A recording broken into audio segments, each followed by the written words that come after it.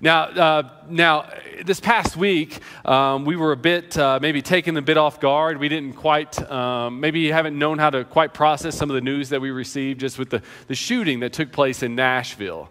And I mean, it's just a, a terrible, terrible thing that took place there, in which you had um, someone go into a, a Christian school, and it was there that three children lost their lives, three adults lost their lives, and um, it's just it's just awful. It's evil. It was horrific. And as you maybe are trying to answer or find answers to questions you have with when tragedies like this take place, um, we just finished up a series on Job. We spent five weeks basically talking about things like that. And I'd encourage you to go check out those um, those sermons, those messages to get some perspective on tragedy in life and how we can understand the tragedy and the suffering that often takes place. But but one one point of view that I want to offer you today that that would be different than what, what you would hear from those sermons is this is you have this this this woman who goes into this school who has a mission, has a purpose, and it's an incredibly evil and again horrific mission and purpose.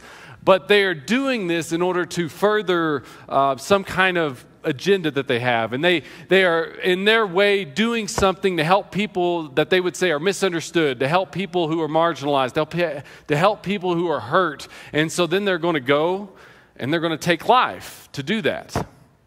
And I want to contrast that with Jesus, who, in a similar sense, came into this world with a purpose. He came into this world with a mission. He came into this world to help people who were misunderstood, to help people who were confused, to help people who were lost, to help people who were hurting.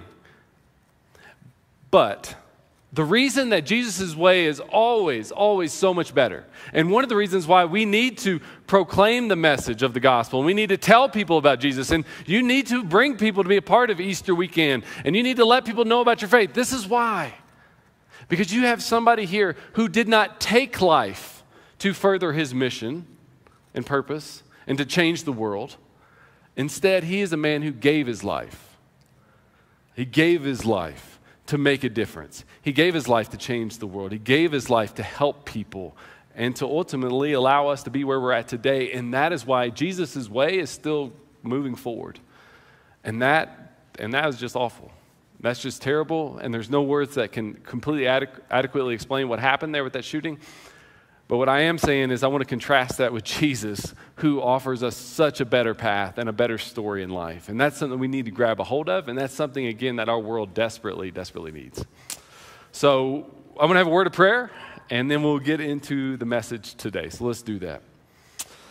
Father, uh, we come before you, and we come before you specifically with uh, the heaviness of that situation that took place this past week. And um, and Lord, again, you know, there aren't words that can adequately explain what happened, and we can't fully understand it. But Father, we know that, that you're surrounding those who are hurt by that. You're surrounding those that perhaps are affected by that, even, even at a distance. And, and so, Lord, um, we pray for your hand to be upon that school, to be upon those people, those families that have lost loved ones. And, and Father, may we again just continue to proclaim your gospel message, proclaim and lift up your Son, because because we know how much of a difference that truly does make in this world.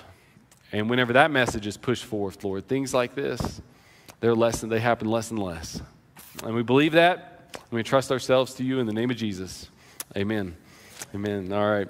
Now, um, this time of year is March Madness, and with the March Madness, we often focus on the men's side of the basketball tournament, and it's been a rather crazy and unusual year with that, with teams that nobody would have expected to make it to the Final Four, and then we got this championship game that nobody really saw coming. But what's all, but what's been interesting to me is what's happening even on the is happening on the women's side. Now, our I, I particularly was piqued the interest of Iowa and a specific player on Iowa's basketball team named Caitlin Clark, and and I was a little bit familiar with her, but I had no idea idea how good she actually was until I saw the Elite Eight game that she played in. She was playing Iowa uh, on Iowa against the Louisville Cardinals, and we are from Louisville primarily, and I have two kids that were born in Louisville, and so while we primarily uh, follow the University of Kentucky, but uh, we do keep up a little bit with the Louisville Cardinals. And so we were keeping up with that game. And it was just unbelievable to see this girl score 41 points on Louisville, who was a really good basketball team, and they've got a great coach. And then she has 12 assists and 10 rebounds. You just don't see something like that happen normally, where somebody can have a 40 point game and then they still get the triple double. It's just very unusual. So then people, the news media, specifically ESPN, talking about that throughout the week. And then they've got South Carolina that they just played. And South Carolina's won like 700 games in a row. And they've got these girls that are just insanely tough. And they just would whip me all over the court for sure. And, and they got one girl at six foot seven. And I mean, and they, and I can't say it again, they are tough. Like they are physical. They are an incredibly physical team. And everybody knew that Caitlin Clark going into that game was going to get the ball. She was going to shoot the ball. She was going to make the shots that she was shooting and they still couldn't stop her. The best team in the country couldn't do anything with her. She scores another 41 points. She didn't quite get the triple double, but got close to it. And I just and everybody just sort of steps back and says, "Man, this girl is great." And indeed, she is great. She's going to be, without a doubt, one of the greatest women's college basketball players ever. I'm sure there can be some arguments made, especially if they win the national championship, that she is the greatest. But the reason I bring that up is because when we see greatness in athletics, we, we pretty much know what it is. And when we see greatness in other areas like academia, we pretty much know what that is. When we see greatness in a field or a sector that we're familiar with or that we work in, we know what exactly that is.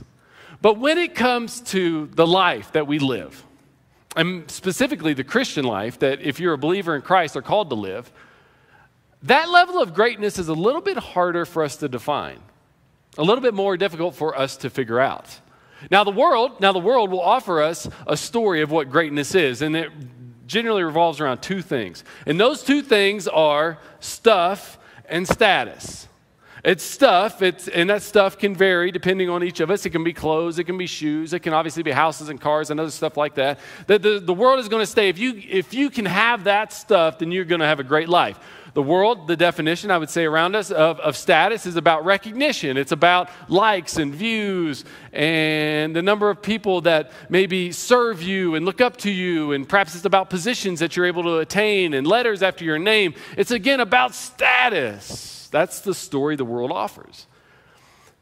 And as Christians, we wonder maybe you do, I know I have. Is it even appropriate to want to live a great life? Is it appropriate to want to have greatness in our lives? And what I want to present to you today is this is that it absolutely is and that you are called to live a great life, and your life is meant to have a great story to it. And we are meant to be a great community of faith. This is meant to be a great community of faith that, that is helping each one, helping one another, journeying with one another, making a difference in our community. We are meant to have that kind of a, we are meant to be that kind of a great church, and you are meant to have that kind of a great life.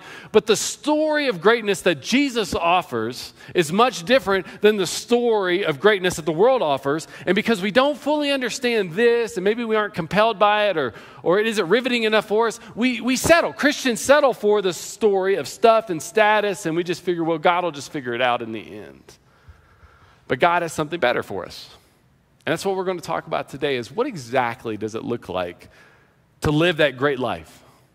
The great life that God would be calling you to live and the greatness that he is calling our community of faith to have. Well, the struggle that we have, at least I have, is the same struggle that the disciples had.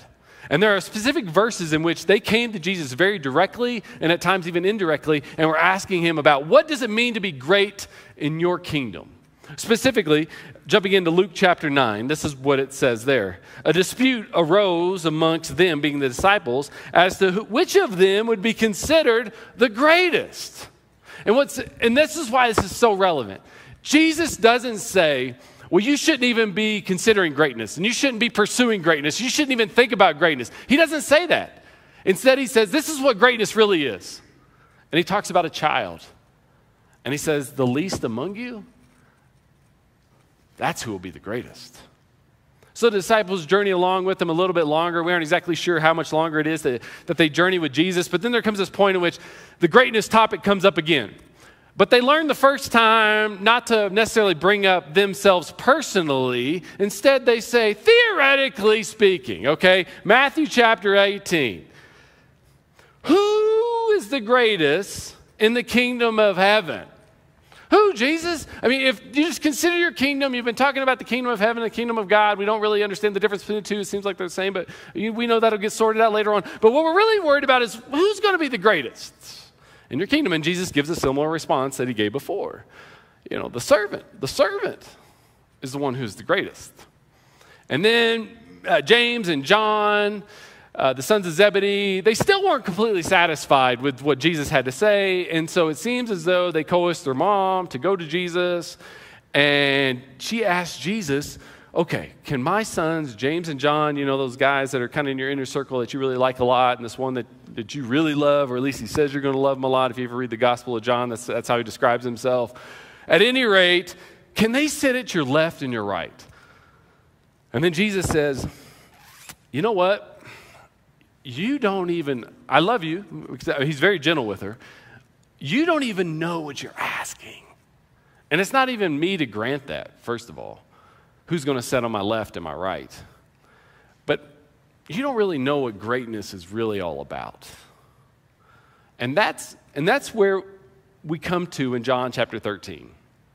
And it's here that Jesus is going to teach us a lesson on true greatness. But it's not going to be a teaching lesson, it's going to be an object lesson, a rather unusual object lesson, the kind of object lesson that nobody really saw coming. Because while the disciples are arguing about who would have the highest position, Jesus quietly takes the lowest position. And that's where we pick up in John chapter 13, and we'll read through several of the verses here at the beginning of this chapter. It was just before the Passover festival, and they're in the supper room. And Jesus knew that the hour had come for him to, to leave this world and go to the Father. His time had come. Now, whenever you hear somebody say, Your time has come, usually something good follows that, doesn't it? Usually, whenever your time has come, you've gotten the promotion. You got the promotion because your time finally came. You put in the time, you put in the effort, you put in the years of work. You respected a boss who didn't respect you. You outperformed peers who were trying to outperform you. Your time came. So you got the promotion. Or maybe you've been struggling through maybe infertility for quite a while, maybe even years, but you're pregnant now because your time finally came. Or maybe you just got engaged or you just got married and you spent so many years pursuing the Lord and following after Him and growing in your character. And then your time finally came. Jesus' time comes, but it doesn't come in a respect in the same way that we would think his time would come. Because from a worldly standpoint, it doesn't seem all that good. But from a heavenly standpoint, it's going to be divine. And this is where we first see catch a glimpse of Christ's greatness. Because Christ's greatness is found in his suffering. When it says his time came, it means that the time for suffering had come for him. There have been others that had wanted to take him, to kill him, to hurt him, but the Bible tells us again and again throughout the Gospels his time had not come, his time had not come, his time had not come, but now his time had finally come. Come for what? His time had come for him to be betrayed by those that were close to, by someone who was close to him. To be rejected by his own people as they would choose Barabbas over him. To face the sham of a trial before the Sanhedrin. To be flogged, which is the type of pain that we can't even, we cannot even imagine what that would feel like. And he went through that. To be mocked and have a crown of thorns pressed upon his head, blood coming down his face, and then ultimately to be taken to Calvary where he'd be nailed to a cross and he'd be left there to die. That's the kind of suffering that Jesus went through. And it's interesting from our vantage point, we don't often think about greatness being attached to suffering. But in Jesus' story, it absolutely is. And in a sense, when we suffer for the Lord, we're tapping into the greatness of the story that God has for us. It's like a man I know who was a Muslim and he came to faith in Christ. And his family rejected him. They disowned him, actually. He didn't have anywhere to live. He didn't have any money to support himself. And a community of faith that was in the church that he was in came around him and they helped him and they guided him along and they supported him on that journey. But that story of his, it had suffering from a worldly standpoint, but it was glory from a divine standpoint. It's those moments I have periodically where I'll be talking to somebody and maybe I'll mention my faith or I'll tell them I'm a pastor of a church and and then the conversation gets short, the conversation gets awkward. They think it's really weird. They don't understand. I know I only work one day a week, but I, I can make it work. We make it work.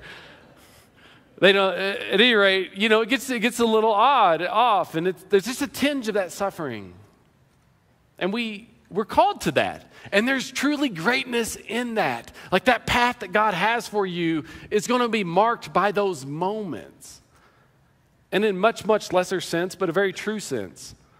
It's that moment whenever you say, you know, we, we didn't, we missed church last Sunday. We've got this opportunity to go ski this next weekend. But because we missed church, we're not going to go ski.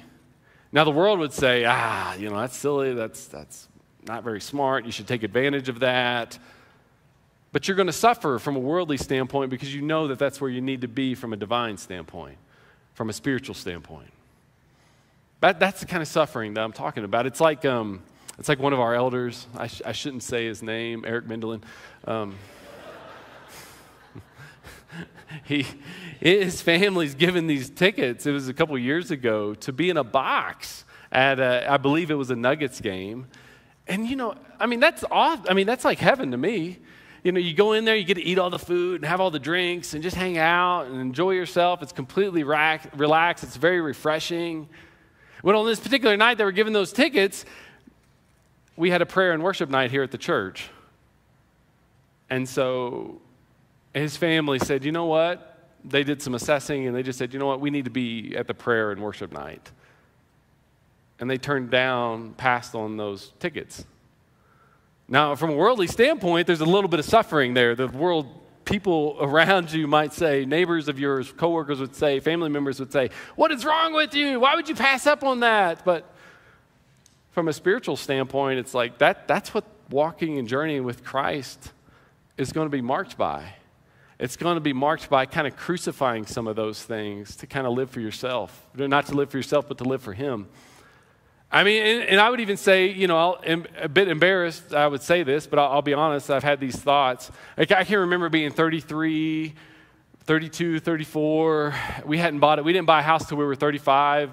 But I can remember being 32, 33, 34, and, and not knowing how we would ever buy a home or when that would happen. And I'm stringing out the you know, I'm looking at my budget and I'm looking at the money we're saving. I'm stringing out the years it's going to take to get to where we need to get to to put down a down payment. And, and I started to think, wow, you know, if we hadn't given all that money to the church, because we've always given a tithe and more to our church, we've always done that. If we hadn't given all, those, all that money to the church or to the Lord, then we would have already been able to buy a house. I wouldn't be driving a car that's like 15 years old or whatever it was that's what this journey is all about. As we journey with Christ, there's a little bit of suffering. Yeah, yeah, a little bit. But from a divine, spiritual standpoint, there is glory. And so Christ's greatness is found in his suffering. His time had finally come. But nobody really understood. And so he's going to teach them this lesson. And the text goes on, verse 2. The evening meal was in progress. They were in the upper room. The devil had already prompted Judas, the son of Simon Iscariot, to betray Jesus. This is an important detail that, that I think maybe you need to be aware of, especially if you dealt with like childhood trauma or even adulthood trauma for that matter. Here's this person that Jesus loved. He was in his, uh, he was a confidant. He was somewhat of a close inner circle of Jesus. He was the guy that managed the money. Jesus had invested years in him, and he's going to betray him. And what's interesting and intriguing about that to me is this is that here's this person that is going to hurt Jesus so deeply or lead to his suffering by the decisions that he's lead Jesus to suffer by the decisions that he's going to make. And it it didn't keep Jesus from fulfilling his purpose. It didn't keep Jesus from ultimately experiencing the greatness that, that we know Jesus ultimately would experience, the glory that he would experience. It wasn't even a bump in the road, it was a necessary part of the story that God was writing here as salvation would come into the world. And the lesson here is this is that maybe you struggle with some stuff like that.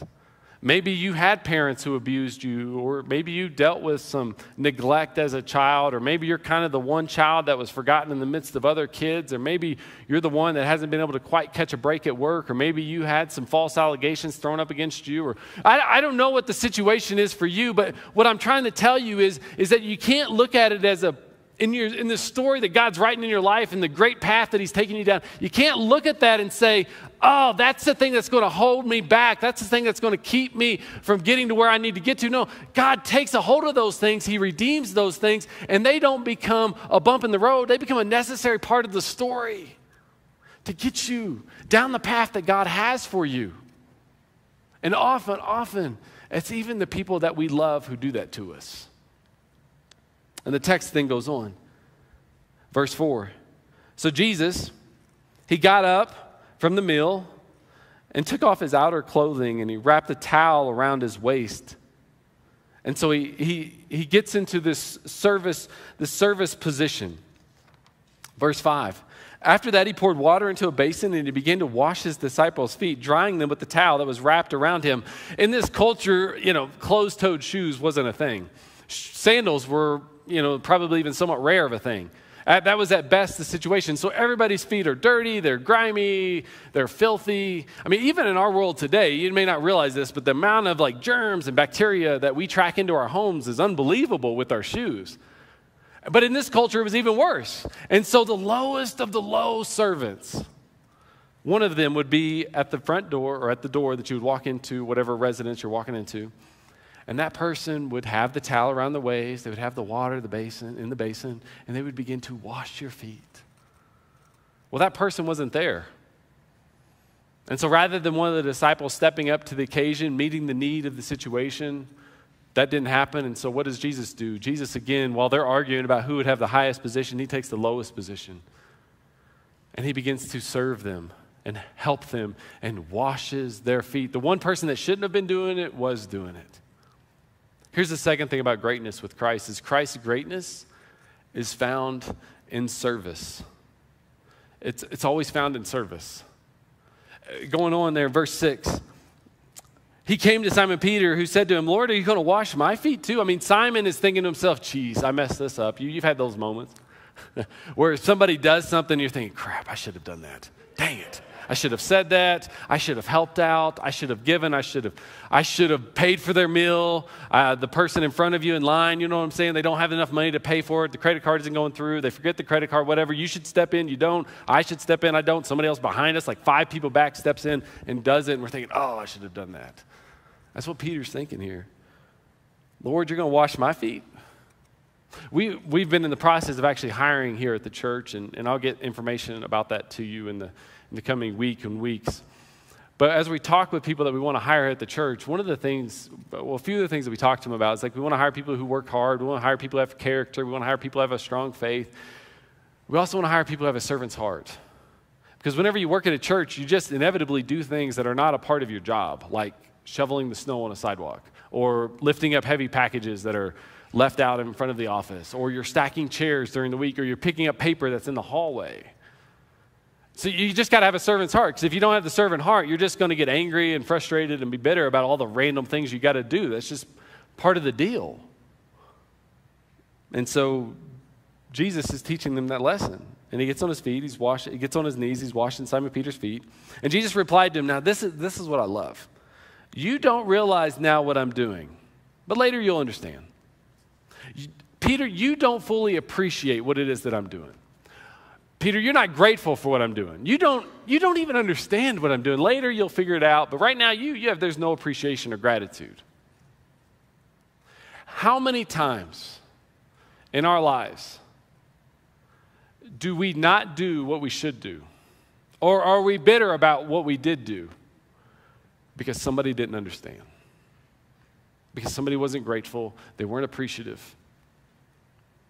Too often. We'll shovel the snow, we'll pay for the bill, we'll help our kid out, we'll help our neighbor out, we'll help our mom out, our mom or dad will help us out. Whatever the situation, I mean, it's all the variety of, we string out those scenarios endlessly. And we want appreciation, we want gratitude. And because we didn't get it the last time, we aren't going to do it the next time, even if it's somebody different.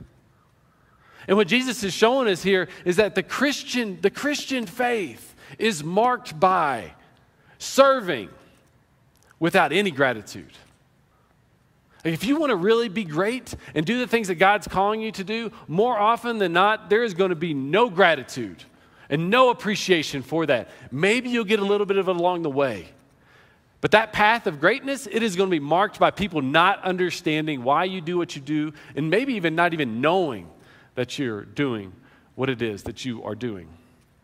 And some of you husbands, I mean, I've been there, I've had those moments. I'll just say what I say. She doesn't understand what I do for the family. I'm providing for the family. I'm like dragging this trash can out in a foot of snow.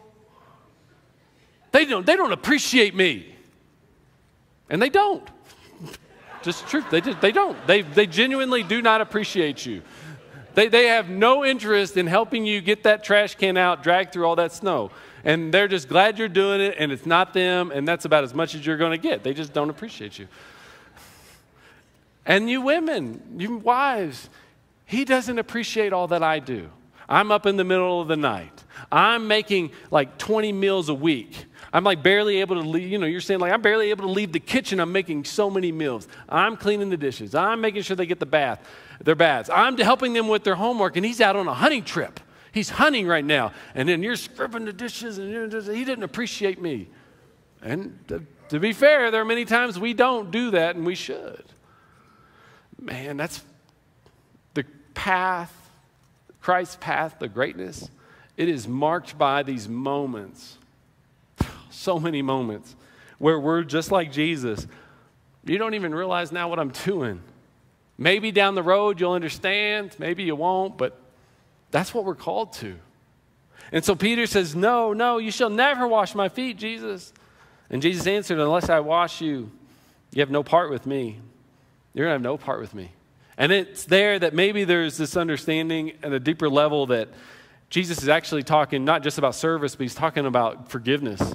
And so Peter responds, Not just my feet, but my hands and my head as well. Father, just Jesus, forgive me. Jesus, pour your, pour, wash all of me. I am, I am filthy, I'm a sinner. And Jesus said this Those who have had a bath now need only wash their feet, their whole body is clean, and you are clean, though not every one of you, referring to Judas. Pick up verse 11. For he knew who was going to betray him, and that is why he said, Not everyone was clean. Verse 12. When he had finished washing their feet, he put on his clothes and returned to his place. Do you understand what I've done for you? You call me teacher and Lord, you call me great. You call me great. And rightly so. For that, I mean, indeed, I am. Now that I, your Lord and teacher, have washed your feet, you also should wash one another's feet. I've set you an example that you should do as I've done for you. Very truly, I tell you, no servant's greater than his master, nor a messenger greater than the one who has sent him. Now that you know these things, you'll be blessed. You will be blessed if you do them.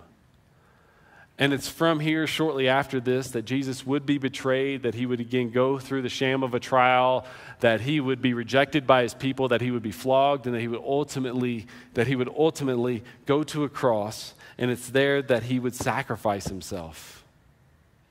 John chapter 19 says it this way as he hung on the cross. Jesus, knowing that all now was finished, said to fulfill the scripture, I thirst. And a jar full of sour wine stood there. So they put a sponge full of sour wine on a hyssop branch and they held it to his mouth. And when Jesus had received the sour wine, he said, It is finished. The Greek phrase there is tetelestai. And he bowed his head and he gave up his, he gave up his spirit. And what is it exactly that's finished? It's not entirely this act of salvation. That, that actually is going to become fully available to us once Jesus rises from the grave. What he's saying is finished here is the sacrificial system. What he's saying is finished here is that you don't have to earn your way into heaven anymore. You don't have to sacrifice. You don't have to do certain things to get yourself right with God. You don't have to desire stuff and you don't have to desire status anymore. It is finished. And I'm going to give you a different path. I'm going to give you a better path. And Christ's, sac- Christ's greatness, than we are taught here, is found in his sacrifice. It's a dying to ourselves that we truly get to experience greatness. In, in the ancient times, in a, if you were to have some kind of a criminal offense, um, you would be given a, a record of your account. It was called your indebtedness. And so, what you would do, and I'm saying this to help us better understand and appreciate what it is that we have in Christ. So, what you would do if you were to be in any kind of trouble, you would have to bring your criminal record to the judge because, you know, they didn't have like this intricate filing system in which Thessalonica could communicate with Philippi. It just didn't work like that. They didn't have Google where they could just check out your name and your record and all that. None of that stuff existed. So you had to bring it to the judge, and the judge would look at it, and then he would assess what you did versus what you've done, and then he would give you some sort of a sentence. Well, Paul is going to use, Paul is using that, uh, he's using that, that, that context, that system that was in place to teach all of us what it is that Jesus has done for us. And he says this in Colossians 2. He forgave us all our sins. He canceled the charge of our legal indebtedness, which stood against us and condemned us. He has taken it away, nailing it to the cross. And when he nailed it to the cross, there was blood that came down his hands. And so what he's saying is this is that our legal, our spiritual indebtedness to God was placed in Jesus' hands and it was nailed to the cross, and his blood has covered over that indebtedness, all over that criminal record, that, that, that, that rap sheet of ours. And then when we come before the judge and we hand him that history of our, our indebtedness, our criminal record, our wrongdoings, our mistakes. The judge looks at that and he doesn't see any longer how you or I have ever fallen short. Instead, he only sees the blood of Jesus. That is poured over. Yep, yep. Amen. That is poured over all of the indebtedness and those moments of falling short that we have in our lives. And that's what we have in Jesus the innocent lamb, in that he received what we deserved, and now we receive what it is that he deserves, which is an eternity with our Heavenly Father. It's a past that's forgiven, it's a purpose for living, and it's a place in heaven. And so now we're going to have a time of communion to reflect on that. And we're going to use this to propel us forward to next weekend, which is Easter weekend. And the story is going to stop here. It's going to stop now, where Jesus died, he has been buried, and we are going to reflect on that sacrifice. If you didn't receive communion when you came in, our team will be happy to bring that to you now. Just raise your hand and they'll walk that up to you. But it's in the juice that you can reflect on the blood that was shed for you to cover over your sins. It's with that little cracker, that bread there, that you can reflect on his body that was torn to make you right with God. And it's in this time that you can be grateful. Because now you finally understand. You didn't before, but now you do. You can finally be grateful for the love, the love that God has for you. That He loved you so much that He gave His one and only Son, that who shall ever believe in Him will not perish, but have eternal life. And so let's take a few moments just now to reflect on that. I'm going to say a prayer for us, and then a, shortly after that, Logan will lead us in worship. Let's pray. Father, we are so grateful for what you've given us in Jesus.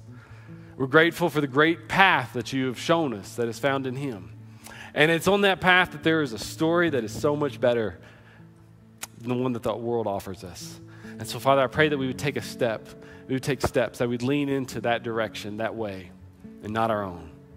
Lord, we're so grateful for all that you've given us in Jesus, the love that you displayed for us on that cross. And we praise you for that. And we give you all this in his name. Amen.